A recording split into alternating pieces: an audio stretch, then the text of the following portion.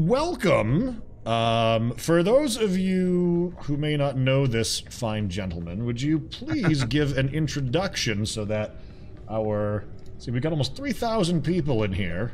No way, really? Yeah, we got two thousand, uh, and that's after a three-minute commercial break to help pay Wow. for the giveaway.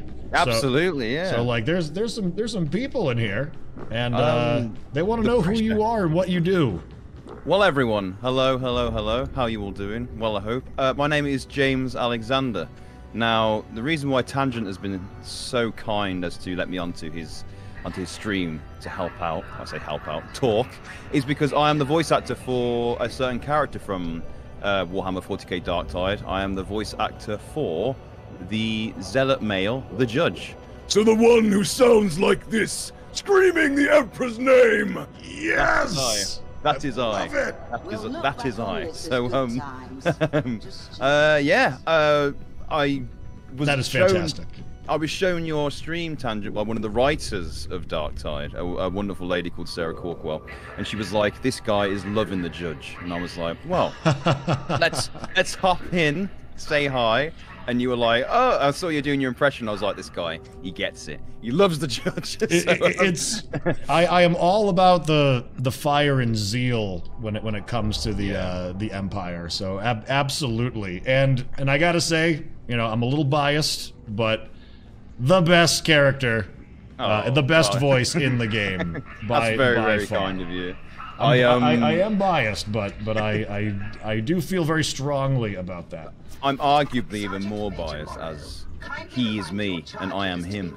So it's uh, I, I, I, I like to say that there's, there's a character for everyone in the game. But no, it's, it's very very kind of you to uh, be so so welcoming and uh, say such kind things about the character. And I hope the uh, the gang who's been watching have been enjoying him as well. He's got he's got a lot to say, you know, a lot It- to say. It's got some some some great lines. So, question that I have: uh, Did you come up with any of the lines for the character, or was any of it improving, or or was it straight from a script? it's a, like a collaborative process. So we, um, so obviously we have the script already written for us when we go in, but then you are more than welcome to give like, uh, you know, different slants to it. Like a, a good thing I really got into is adding like more particular grunts to the the lines, but you you are given the space for improv as well. Like they say, oh, just they usually just say to you, just uh, you know, improvise something, and then they're like, yeah, great, put it in the game. You know, uh, one of the, my favorite ones is when you get grabbed by a mutie. Uh, they kind of throw you about, don't they? So They I do. got a, I got a line in where I go like that. That was uh, one I was quite proud of, and also uh, just yelling Beneficent Emperor! uh, I added a few extra ones of them in there. your because, your you know, microphone's like- fighting you a little bit. Oh, I is it think. fine? So I'm gonna go back a bit there. Is that better? If I yell from over here, is that better? That, that, that is actually. yeah, sorry, that yeah. is. Sorry, I'm I'm learning uh, the better ways to uh, distance myself from the microphone. The voice is too powerful for uh, any normal mic to handle. It, just can't handle me. It's- Just can't it, it- it can. I can hear that. I can hear that. Um, so tell me, have you uh, been familiar with the Warhammer franchise prior to Dark uh, Dark Tide, or uh, Absolutely, yeah. Uh, so I got into uh, Warhammer as a as, as a as a wee lad. Um, my dad got me into it. He bought me a set of uh, Space Marines, and he painted them into like the the Ultramarine colors because you know you got to start with Ultramarines, and then we moved on to Tau, uh, Necrons. Yeah, so I've got a nice little set of them. So, so did your, uh, did you guys play the game, or was it more of just a hobby? it, we tried to play the game, but we just couldn't get into it. So we just kind of stuck to the collecting, painting, hobbyist side of it. That But- is beyond cool, though, know, to hear yeah. that that you had parental figures that were that were Yeah, into it and actually like- introduced you to it. It was it was amazing. Like it's definitely formed my kind of interest in like fantasy and stuff like that. Because then we obviously collected some Warhammer fantasy as well, like uh, the Vampire Counts and uh, the other army as well, which I've forgotten. Oh, I've gone blank. We also had some of the Lord of the Rings Warhammer as well. Oh, So, yeah, oh, th- it's- that model yeah. range was really nice. Oh, amazing! The, The, the Sauron model to this day, I think, is one of the Oh. best ones that Games It's- Workshop's made. It's it's seriously impressive. Like I, I mean, the stuff they released now is great, but I have a very soft spot for the the ye olde Warhammer figures. You know, like really so, do. so you like both fantasy as well as 40k? Absolutely, yeah. I'd say I prefer Oh, 40k mostly. I played like a lot of Dawn of War as I was growing up, so 40k is more. But I play. I was playing Vermintide one and two. Oh, just two actually. Tell a lie, just two. So um, that kind of got me into uh, yeah, modern Warhammer and Space Marine as well. That game was yeah fantastic. So uh, yeah, that's My, yeah. my parents uh, got me into Warhammer as well, though not because they were part of the hobby.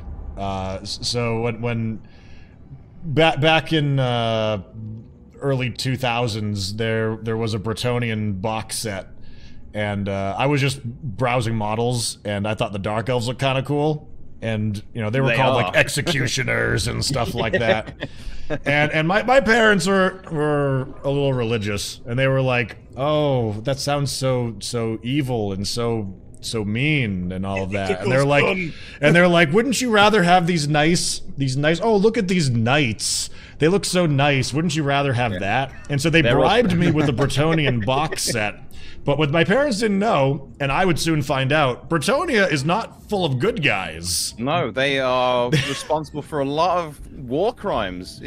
Yeah, and they, and They are the treat their, their people. people. horribly. I'm like reading through like this dark book, uh, you know, and and my parents like you know they they they I was gonna just buy one unit of executioners, but they got me a Bretonnian box set to not buy the executioner. So that's how I got started in the hobby as a Bretonnian player, and then, and then I would be Little a Tomb Kings know. player later. Oh, Tomb Kings of Khemri are like I have the codex for them. Well, I had no, I've still got it somewhere, uh, but I never actually collected any of the army. It's a shame because I absolutely love anything that's like undead or like zombie related. I'm like, yeah, give me that. I, I Uh, had at one point a ten thousand point Tomb Kings army. that's at one point. immense. That's amazing, unstoppable. It's Well. I mean, they, they weren't exactly the most balanced army. They weren't exactly the best on the tabletop. They had some pretty glaring weaknesses, like you know, double damage from fire. But it was Oh. it was fun to play them because you know I I could tell that hardly anybody really collected them, which is probably why they got canceled. But Ah, it's a shame because I, I just love the design because I'm, I'm much more about the design aesthetic. I'm like I have no idea how they work on a tabletop. I'm oh, me like, too. They, they they're look so fun. cool. There's such such a beautiful model range too. Um, but uh, so let, let, us bring the topic, you know, away Yeah. away from general Warhammer for a moment, and, and a bit course. back to to you, since you are, of course, our guest on here.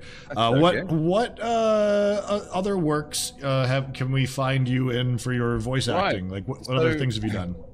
so uh to quickly list them off uh, if anybody plays the formula one games uh, formula one 2021 2022 i'm one of the voices of the r&d engineer who tells you how to basically fix your car. So he's always like make sure you spend the correct amount of money to make sure your car runs how you need to spend it.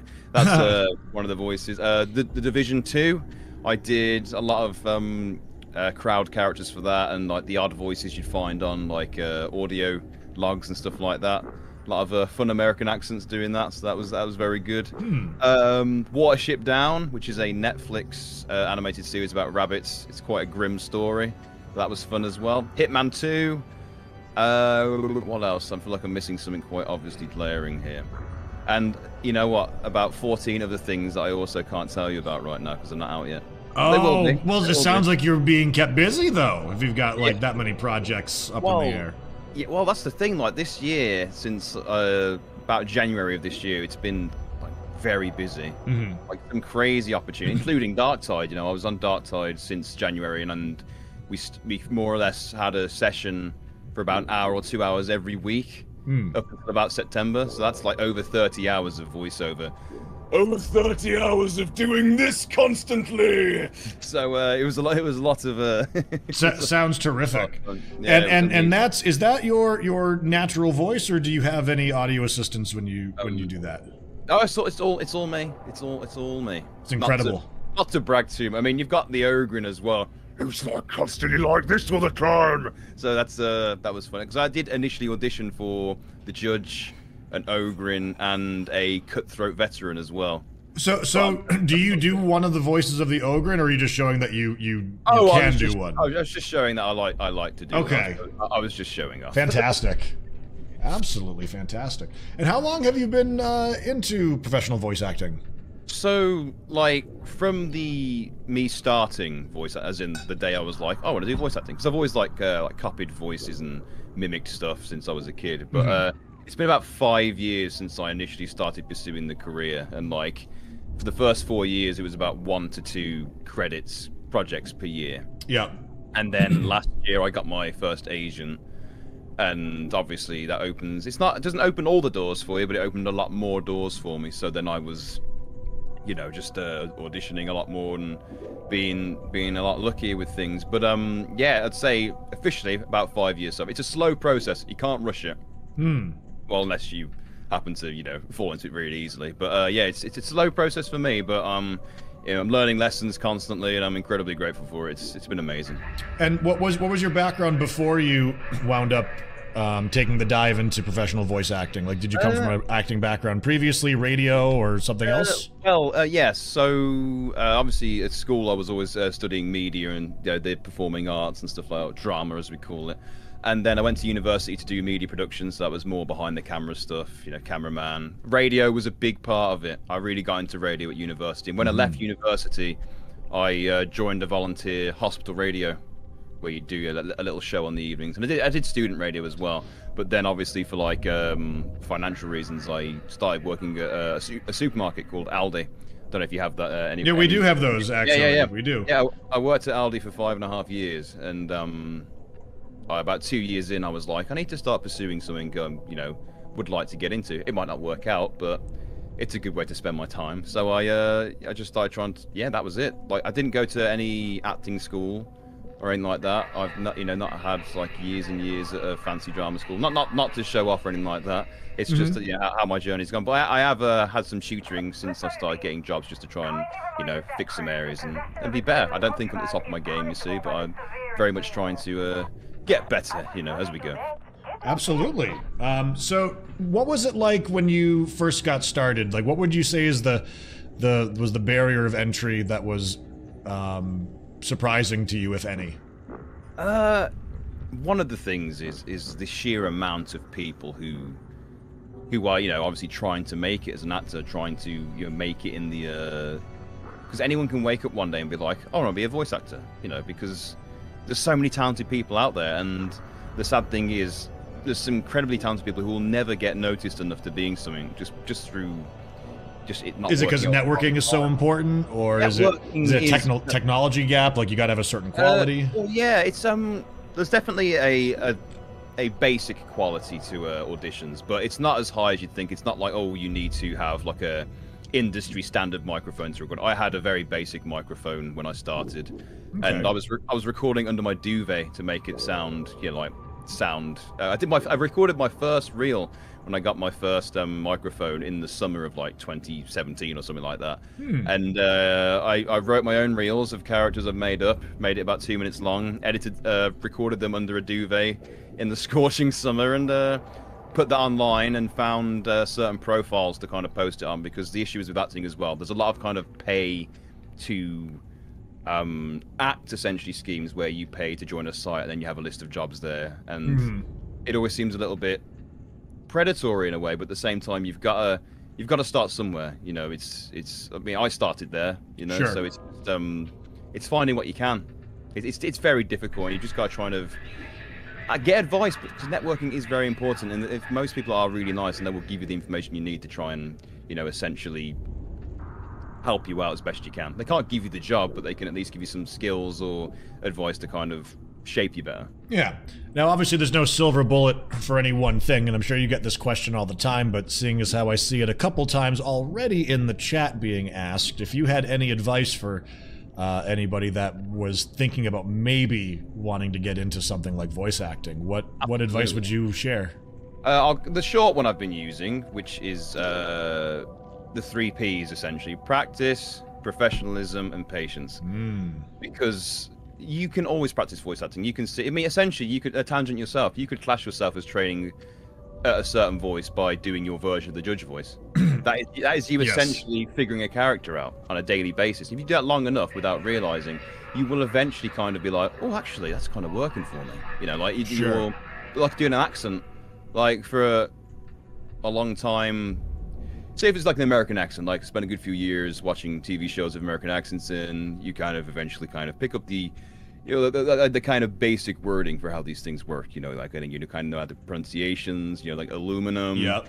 Iran. You know, you, you kind of figure it out. And um, that just talking in it, like it drives. I'm sure it drives my wife mad, but walking about, talking in the voice is a great way to kind of train yourself, and also watching and listening to video game performances. I mean, that's what I've been doing my entire life. Like, you you know a good game performance when you hear it Absolutely. And you know obviously there's different kinds of acting in video games. Like yeah there's more the realistic there's the, more wacky. Like dark tide's kind of the the bigger kind of scope of it but it absolutely is like yeah that is the best training like you can go to classes as well. There are voice acting coaches you can go to but if you're starting out you just trust yourself to put time in. If you feel like there's an accent you're not good at just practice and when you're eventually in a position to be working on an actual professional job, whether it's small or even big, just be professional, be nice, and be patient because, you know, you can't force networking, friendships with people, people you get on with. You may hit it off straight away, and that's great, but you can't, you know, you can't force that. You can't be mm-hmm. best friends overnight and be like, oh, give me a job now. That's, right. you know, Oh, exactly. it, it comes across as you know like you're using someone so it just takes time you know it's been five years for me and yeah it's felt like a drag at times and other times i've been like is it even worth doing but It, you also mentioned uh, patience and professionalism as as Yes. part of that, and I'm, Yeah. I'm willing to wager because I know in my industry, being professional and patient goes a very long way. I'm does, guessing it it goes further than you'd realize in yours too. absolutely you don't you don't want to annoy people you don't want people to you know be put off from you and that can be a paranoid thing. you're like oh did i say the right thing to them oh did i come across too overbearing and i think that in at the end of the day like you go there you be as nice as you can you do the job as well as you can you do your best because at the end of the day you may not be able to be the best but you can certainly do your best and that Hmm. Yes. that is enough. That is enough sometimes, you know. It's not always about being the top dog because you see so many people, like from experience, people trying to become the best person there is and they're just treading on everybody else. Mhm. It's a, yeah, you, you want to network because you never know who's going to message you and be like, oh, we'd like you to try it. You're not going to get given the job. Make no mistake, you know, you're not in the position of people just giving you the job because they like you, but an But, but they might keep you in mind if an opportunity comes up to try your hand at getting the job. Exactly, tangent. Exactly. So they'll be like, "Oh, well, you know what? I think you'd be good to read for this, actually." And you might not get the job, and that's okay. But any audition is an opportunity to get a job. Essentially, um, there's a voice actor called Neil Newbon. I'm not sure if you're familiar with him, but he did the voice of Heisenberg in Resident Evil uh, Village, and Oh, okay. Astarion in Baldur's Gate 3. I Hmm. heard an interview with him, and he said the audition is the job.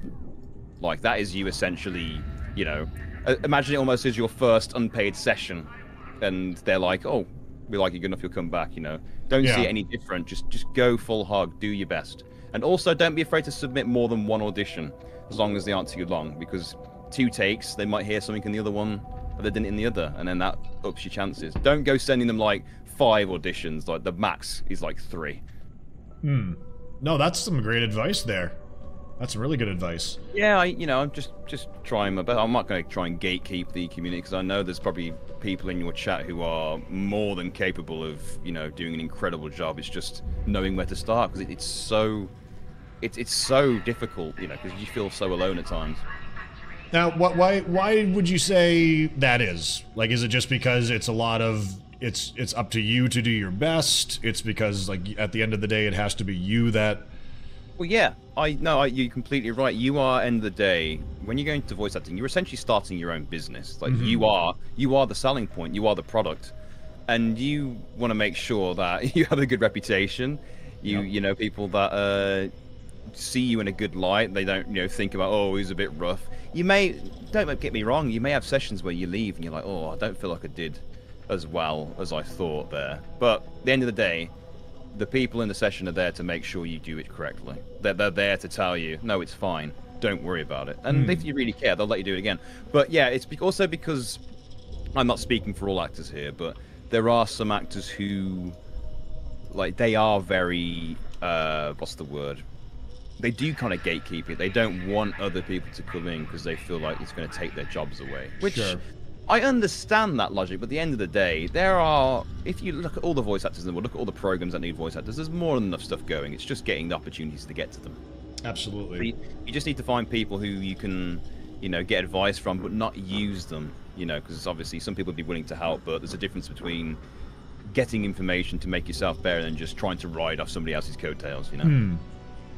So, um, plucking a question from from chat here, uh, is there Absolutely. any role that you would really, really want to to have in your professional career? Like, is, is there a particular one that, uh, if it ever came up, you would lunge at the opportunity to audition for? so so many. I mean, um, I mean, what one of the like the smaller ones is like just creature noises, like just going, Yeah. you know, stuff like that. I'd love to do that. That's that's so much fun. Just you know, seeing the vocal image you can do. But like bigger things, I'd love to do a character in like a um like something like from Naughty Dog or God of War. You know, just one of their characters. Mm-hmm. But but also, I'd absolutely love. I think if like I ever got like the chance to do the voice, it'd be a dream. Like uh, one of my favorite comic book characters is Hellboy. Oh, And okay. I, I'd love to do the voice of, you know, I don't know if my, my voice is, yeah, old enough to sound like Hellboy, but I'd love to do like, uh, you know, Myers got a deep voice, kind of, yeah, bam, kind of, you know, uh, yeah. I'd love- a a comic book character, I think, would be fantastic. Like, obviously, there's now spots for like Batman and the Joker, because obviously uh, Kevin Conroy, rest in peace, is gone. But there's still been other actors doing the voice of Batman past few years anyway. But I think, yeah, like a or something from Star Wars, just something from a mass, a, a big property. I think that would be a dream come true, just because it's you know you hear so much about these projects, and you find it's not even about about the main role. It's just about being involved in my eye. You know, like I'm, I'm not fighting to get to the the big roles. I'm just fighting, or not even fighting. I just want to be involved and have fun. Absolutely. So, uh, how long did, did it take for you to uh, wrap up projects like Dark Tide? Like, how, how long was the commitment to Wow. working on that? What's a day in the life like for for a, a, a AAA voice actor? Well, oh, that's very kind of you, Tangent. Um, so, it, how it kind of goes is so with the projects, you're not really given like a a window for how long it's going to take. Like, so, oh, oh, not in my experience anyway. I mean, you one project I did, they were like because that was a motion capture project, so that was different. They were like, you know, we need you for four days, so that was a bit more, you know, direct. But with Warhammer, like I, I did like the first month of sessions. So that's about four sessions, yeah, but one, once a week because they're quite intense.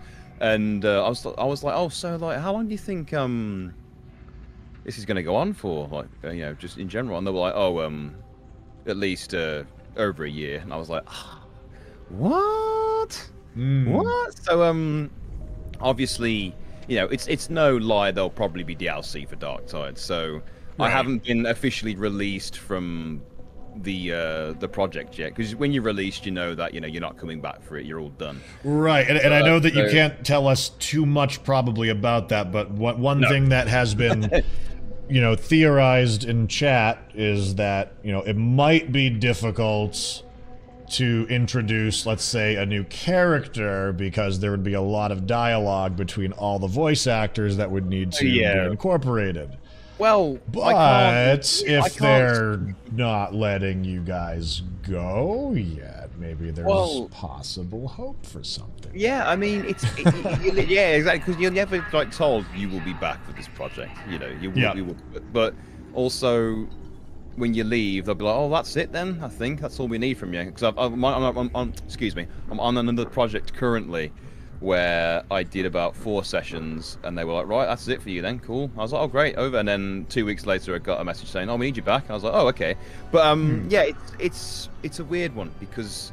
I can't confirm there'll be new characters in Dark Tide because I know I'm a voice actor on it, but you don't really ever get to meet the other voice actors, or you get to hear the uh, you know the the down the you know what's what DLC may or may not be coming. Oh, so, so when you're reacting to somebody, uh, you're you're are you hearing their line first, Yeah, or, or are yeah. you guessing what? It what varies. It, it depends uh, if it's been recorded first. So, uh, so for uh, example, uh, I did one session where I had a. It was a, a response to an ogre, and it was like something like the ogre going, I'm not really sure where we've got to go next. kind of like that. And then I'd be like, Have faith, Slab. Follow me, and we shall never be lost. You know, it was kind Excellent. of um, yeah, you, you have that. But other times you'd have the director just kind of going, um, so where do we go next? And you just, you know, and they'd be, they'd just say, I'll just respond to it this way. It, it varies, but I guess that's part of the job, being able to bounce off of actual uh, recorded dialogue, but also someone just reading it to you at the same time.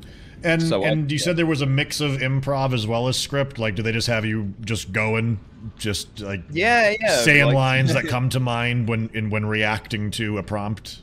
Yeah, so um, like obviously Warhammer is ninety-seven point five percent fighting, or at least this game is anyway. So um, they'd just be like, "I'll just go for some generic battle cries." The closest thing to like knowing what to do would be like light battle cry, which would be like, you know, Face me. or something like that, and then you have medium battle cry, it'd be like, Come on, face me. and then there'd be like, you know, a heavy battle cry, and it'd be like, Come on, face me, heretic. the microphone cut out yeah, again yeah. on that one. I, had yeah. to, I had to lean very far. I'm going to turn Yeah. it down slightly, just to, just to save your ears. Is that better? Yeah, we, that, that's good. I mean, it, it doesn't hurt our ears. It's just the microphone just, just goes up too too epic. Yeah. Gotta gotta tone it down a little bit. Well, a funny story. I actually broke a microphone on my first day of Dark Side, Oh no! just just through shouting. Are those expensive in the studio? they didn't tell me, but the studio is a, a big studio, and it was expensive. I was told. I, felt, I felt very very bad. Oh man. Well, I guess they can't blame you too much for that, though. That's No. why they. That's why they brought you in. Just do my job, lads. Don't worry about it. Exactly. Exactly. Uh, so, what was your favorite part about working on the project? Because you, you got to do. You were a lifelong fan of Warhammer as a whole. It sounds like you've liked gaming all your life, oh, I've. and yeah, so I- you've you probably had to. Uh, I don't know if they made you look at a lot of source material or anything like that, but you probably knew a bunch of it already. But what what, what was it like uh, working on something that you really enjoyed since childhood? it was completely surreal, tangent mate. To be honest, it was like I think it's only just hitting me that I'm involved in in this because like I was speaking to the main writer and he was saying like yeah Warhammer has never been bigger. It is the biggest it's probably ever been, Mhm. especially like from the video game format. And I was like, no way, that many people are gonna be hearing my voice. But it, I think the main thing is that because I think what helped because I kind of I knew of Warhammer and I knew kind of what the characters were kind of like to an extent. Mm-hmm.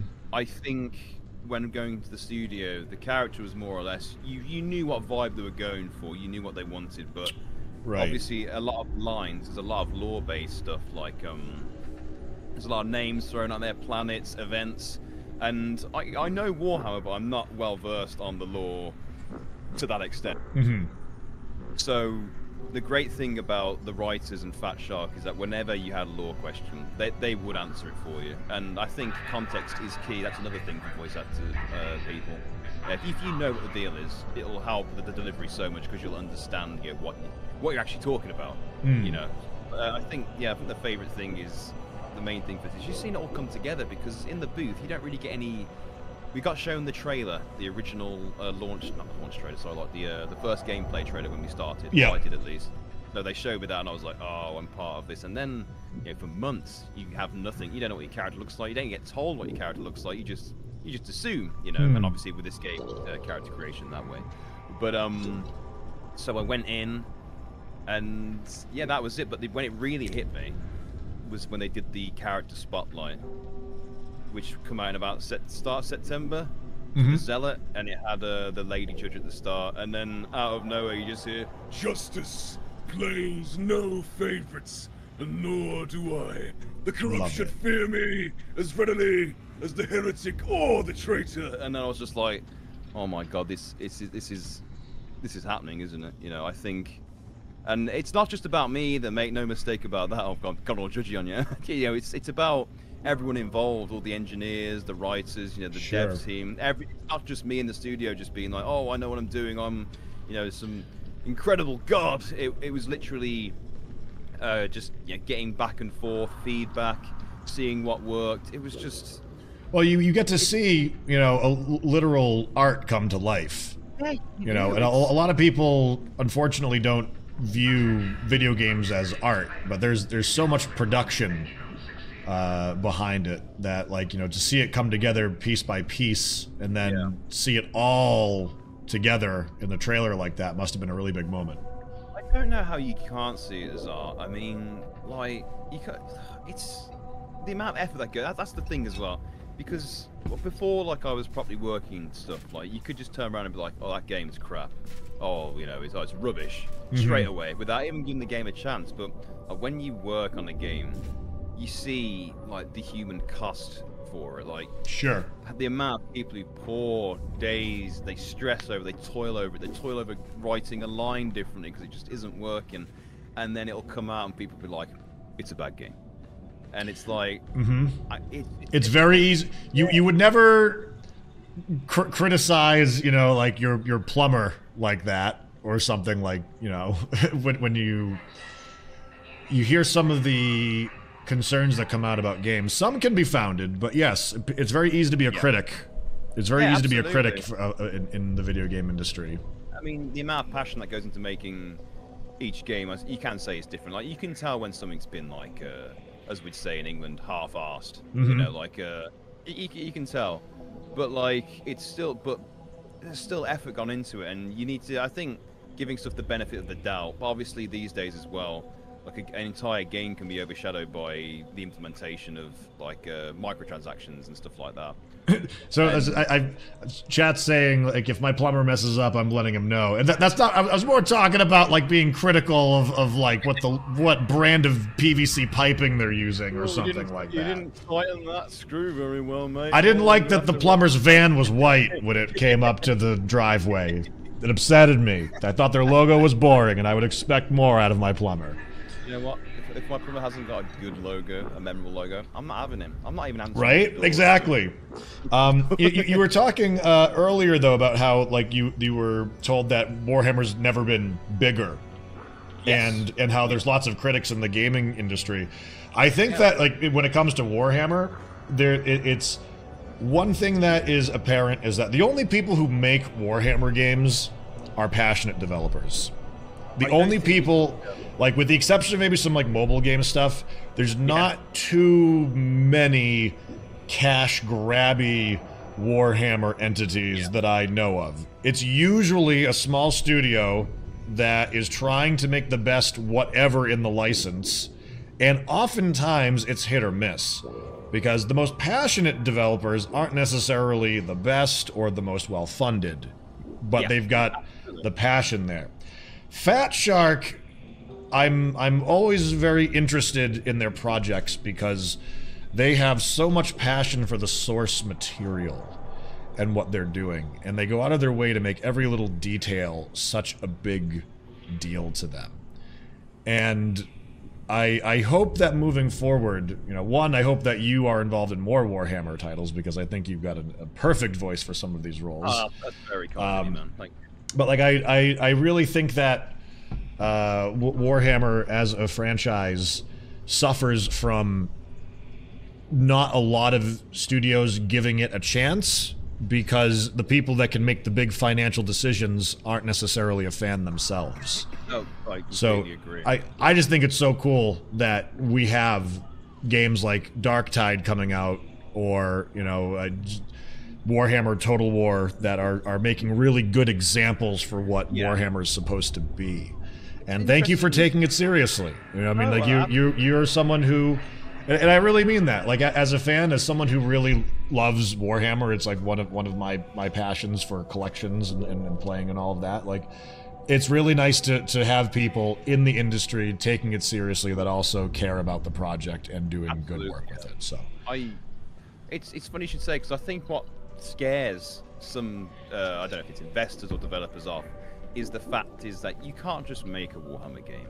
You've oh yeah, gotta- no, you gotta you gotta get that license. Yeah, you gotta get the license, but also you've gotta get the lore. Like you've got a lot of information to go through, baby. You've got a lot to go through because like I've heard like it's down to like the color of a certain knee pad being in the right place. I've heard Mhm. like yeah, th- it's so easy to scrutinize every detail Now, I don't know the the deep details of the the lore in terms of outfits and such, but from playing Darktide, and this is very biased, and I totally understand that, but I feel like it massively captures, in my mind, how you know a Imperium Hive City would look. I mean, I did the the Throneside mission yesterday, hmm and it's it's incredible. Like it's just you know all the holy statues and the Space Marine statues. Oh, it's just it's just fantastic. Yes, I'm very biased, and I know that, but it's you know seeing that like um adapted on a, like a triple triple A you know basis with that money, it would be incredible. I mean, Fatshark have done an amazing job with what they've they've got. So if they had like a triple A money, I don't know what we'd be looking at, but it'd be insane. I don't think we could physically handle it. I, I mean, it's Darktide already seems to be a game that pushes a lot of uh, gaming PCs to their limits. And I, I've got a very beefy PC, and and it's the visuals are they the, the trailer didn't do it justice. It, it really didn't. Like I, I went out of my way to try and avoid a lot of spoilers for the game. Yeah. But but I was, you know, I, I feel that we get kind of spoiled nowadays. Like everything looks good enough in a lot of games that it's really hard to be impressed. Like it, it, it's, it's it's kind of sad to say is that like we're kind of like uh, bludgeoned into I don't know apathy towards beautiful visuals unless they're really stunning. And I think that Darktide's aesthetic really really captured the the grimmest darkest that they're that they're going for. I have to agree with you completely. I, I, I also feel like, um, like you said, in regards to the art style, like because graphics are, you know, uh, rapidly getting better and Yeah. close to realistic, and I think some some people, probably again a vocal minority, they they expect it for every game. So like they come to Darktide like, oh, the graphics aren't very good, are they? But I feel like in a way one thing that's being more appreciated now is a specific art style. Like just to compare it quickly to um, Into the Spider Verse, they went for the film. Sorry, not the game. Um, Mhm. no, the the game for it. and uh, it's it's obviously got this very unique frame rate. It's got the you know, the comic booky style, which we've not really seen in a certain position, and that was massively. I mean, it's a great film anyway but the the art style is very much what's spoken about and it's influenced other stuff whereas you play a game like uh, god of war ragnarok it has a specific art style but it's a lot more subtle so you wouldn't look Hmm. at it and be like oh you know uh, oh i love the art style of it you just be like oh the graphics aren't as realistic as they could have been and the truth is most of the time you don't need it to be as realistic as you want it to be you know yeah and mo- motion capture's taken steps forward in the way where you, you can get the little nuances and facial twitches through performance capture, but it isn't always about them looking as real. As long as the performance is kind of like uh, hitting enough or gets the job done, I don't think graphics are everything at the end of the day. Mm. Yeah, it's nice to look at, you know, the particles and the blood splatters better, but I feel like um, sometimes you just don't have the the physical uh, what's the word supplies to get that across if that makes sense the hmm so Absolutely. yeah, yeah, I completely uh, see what you mean. Yeah, I, we have, we I think we have been spoiled in a way, and I think we come to expect uh, a lot from. If you think about ten years ago, what games looked like, massively different. Sure. Ten years before that, it, obviously, it's get. I think the the jump is getting less and less noticeable because rather than being things we can see, it's more things behind the scenes. Yeah, it's like it's like frame rate improving like on this that- m- most yeah, recent console generation. Like uh, I, I know a lot of people. You know, they they play their PlayStation Five in performance mode because they, wow, sixty frames per second is great. They they they realize what they've been missing out on and stuff like that. Yeah, I, I've enjoyed the the 60 frames per second, but I've, I've not, you know, I, I jump between. I, I see what I prefer, you know, like because it's a shame you can't have both. You can't have the best of both worlds, I suppose. But um, I guess it, it varies on Sure. yeah, what exactly uh, like appeals to you as a player, really. You know, because we can't really see above 60 frames per second, can we? No, that- I mean some people would, would argue that you can. I Yeah. I don't know enough about it, but sixty I know sixty and thirty look different, at least. Yeah, I, I have seen the difference between them, so I, I can confirm that. Yeah.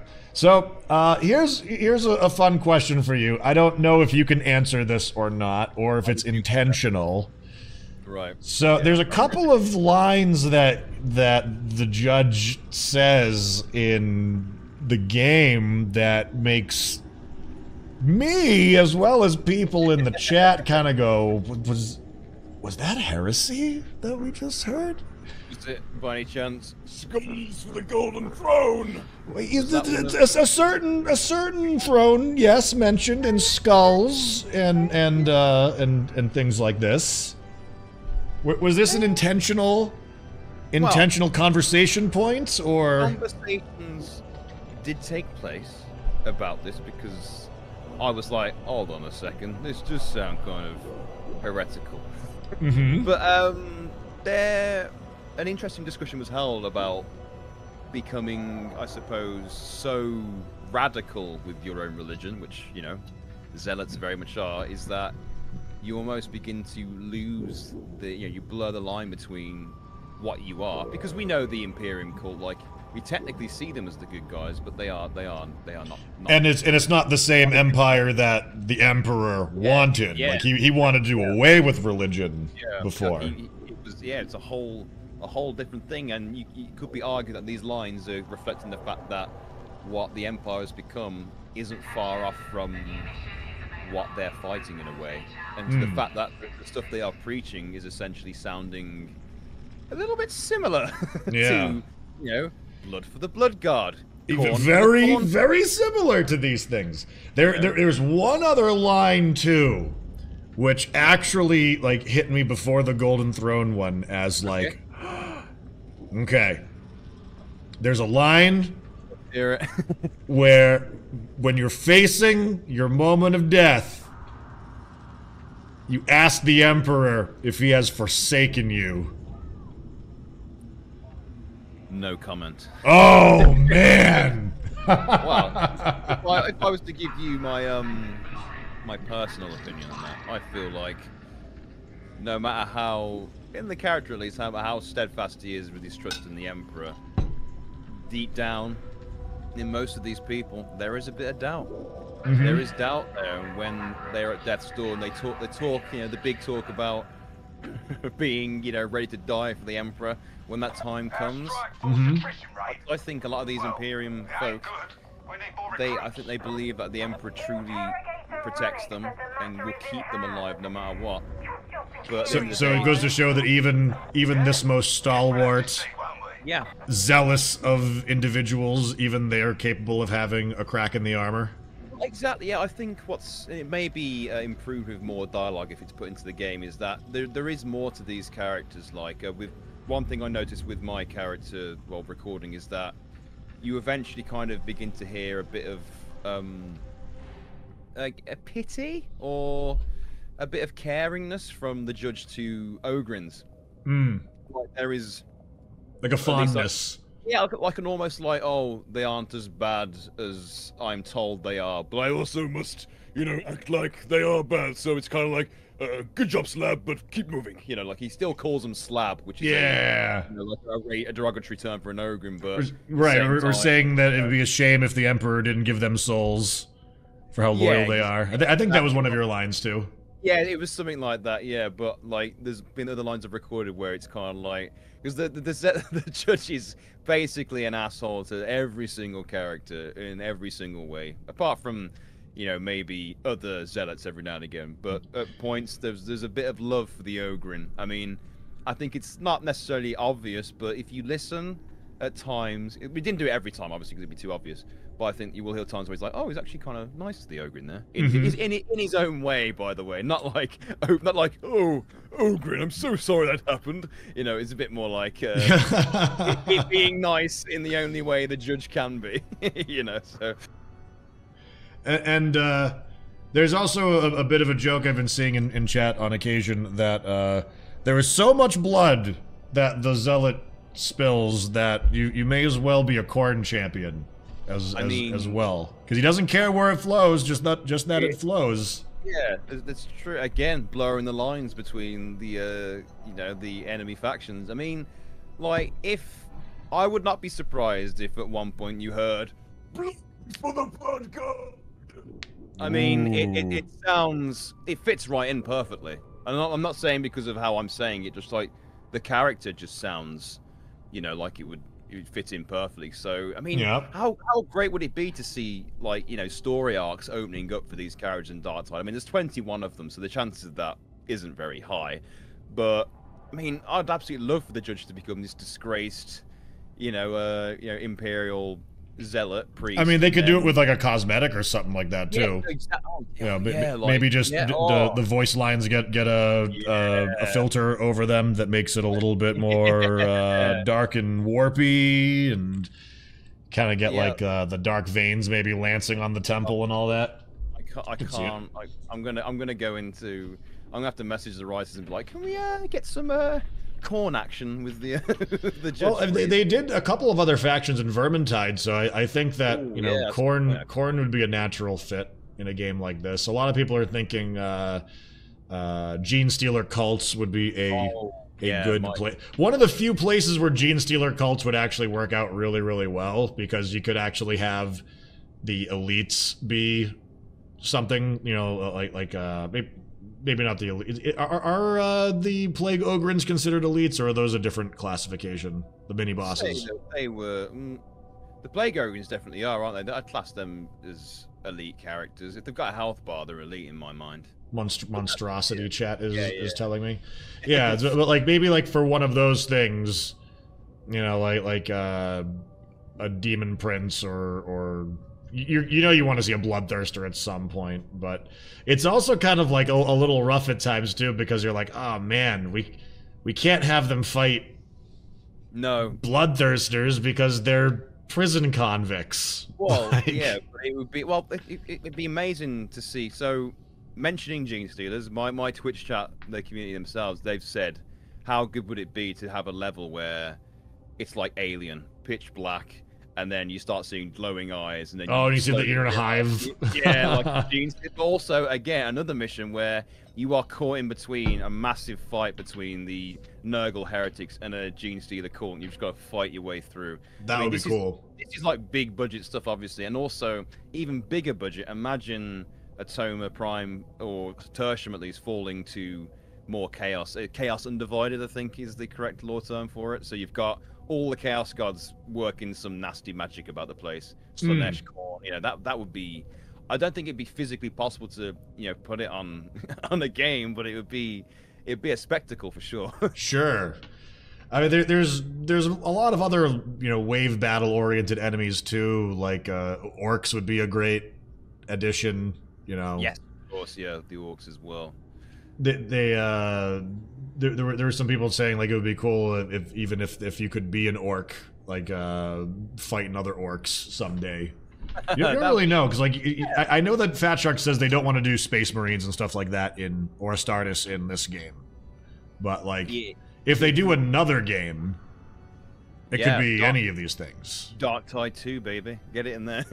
Darktide 2. You hear that? We want it, Fatshark. that, that's not a confirmation of it existing, everyone. Just want to put that out there. but So- also, um, oh, sorry, go ahead, mate. no, you go ahead.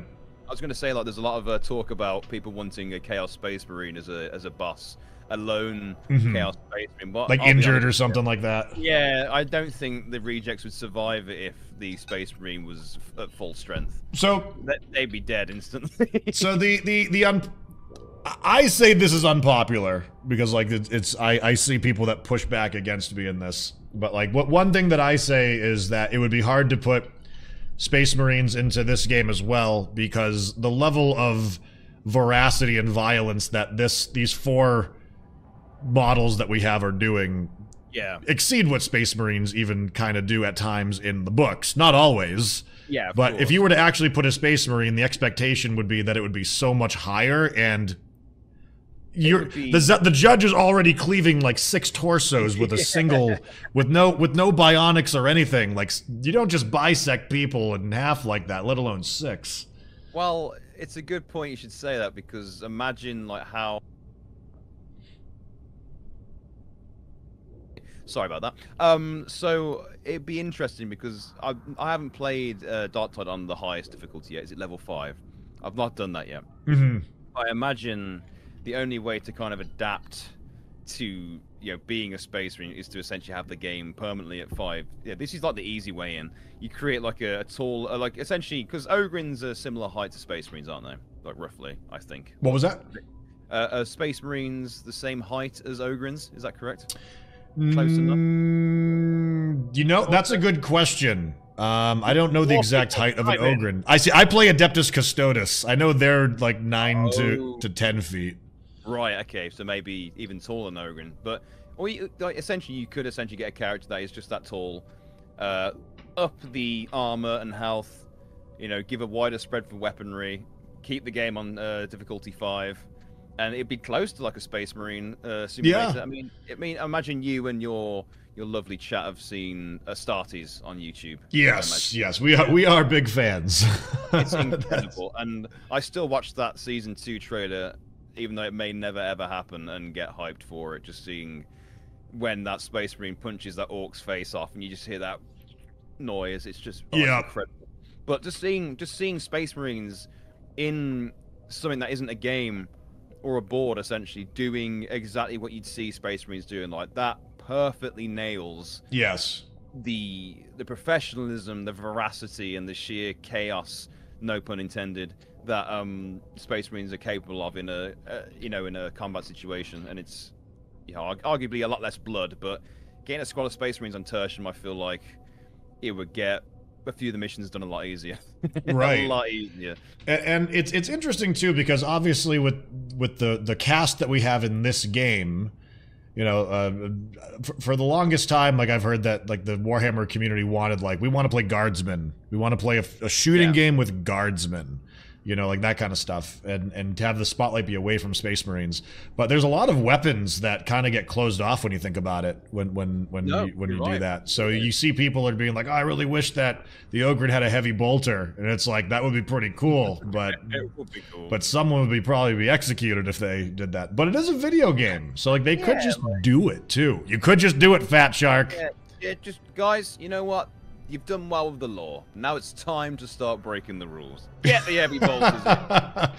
I know, I know that we we we were nitty gritty down to this elbow pad can't be off color, but yeah, we we we've got uh, a Hulkbuster armor for for this ogre now.